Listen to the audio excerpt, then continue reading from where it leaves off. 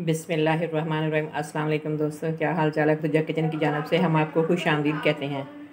तो आज मैं बनाने जा रही हूँ तोरियाँ। जिसके लिए लिया मैंने प्याज, ऑयल मैंने डाल लिया, ये लिया मैंने प्याज, इसमें डालूँगी चूल्हा करती हूँ और इसके साथ ही मैं डालूँगी तीन चार सब्ज़ मिर्च।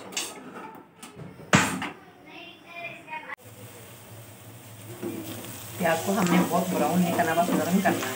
तो डाल रही हूँ मैंने जीरा, टमाटर और लहसुन। लहसुन का पेस्ट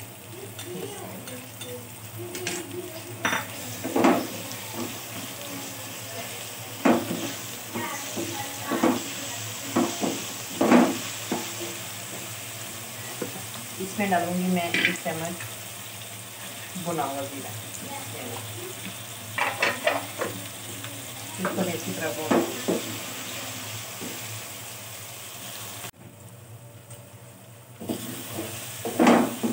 टमाटर और अच्छी तरह हमने भून लिया। अब इसमें डालूँगी मैं एक चम्मच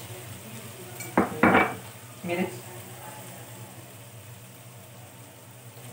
हाफ़ चम्मच हल्दी, नमक मैंने लहसुन पीसते हुए उसमें डाल दिया था, एक चम्मच।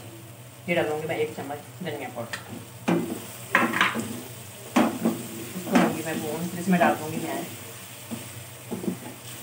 ये लिए मैंने तोरियाँ। इसको मैं छील के धो के अच्छी तरह काट के रख लिया अब इसमें डाल दूँगी मैं। इसको हल्की आँच पर।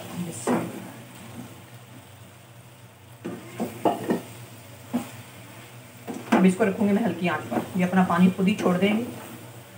इसको मैं अच्छी तरह भून लूँगी। ऐसा ऐसा किया तुरंत थोड़ा सा पानी छोड़ दिया। है इसी पानी में इसे हो जाना है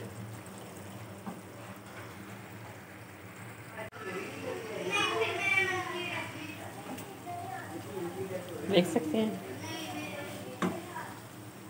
बहुत अच्छे से हो रही है हमारी तोरी और ये मैं बना रही हूँ पोटैटो स्नैक्स यानी पोटैटो रो मैं आपसे ये रेसिपी भी शेयर करूँगी बहुत मज़े के बनते हैं।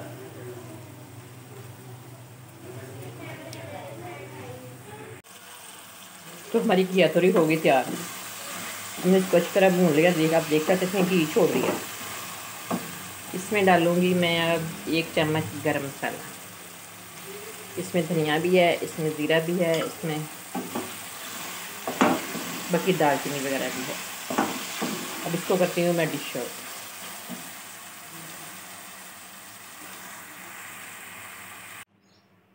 तो हमारी मज़ेदार सी घिया तोरी होगी तैयार।